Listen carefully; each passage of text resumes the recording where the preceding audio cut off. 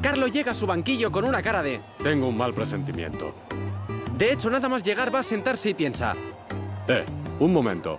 Si mis cálculos no fallan, aquí es cuando un señor me viene a saludar.